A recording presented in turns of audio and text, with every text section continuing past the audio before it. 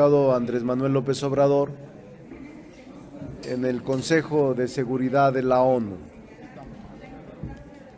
Nos parece que este pronunciamiento es inédito de cualquier jefe de Estado, no solo porque toca de raíz los problemas del mundo, sino porque plantea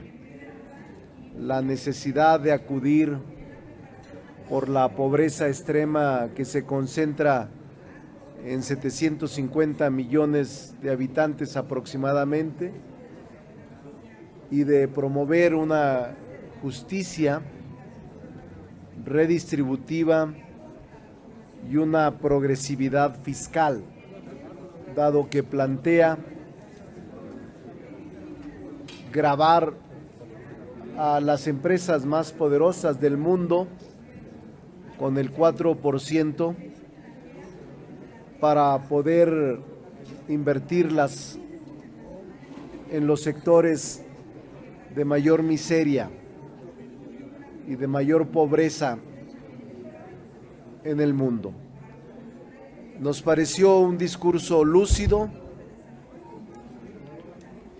adelantado a su tiempo, solidario con el mundo, atendiendo no solo el pronunciamiento de respaldo solidario contra estos 750 millones de ciudadanos del mundo, sino con una perspectiva de atender las causas y de atender con políticas públicas este rezago tan extraordinario.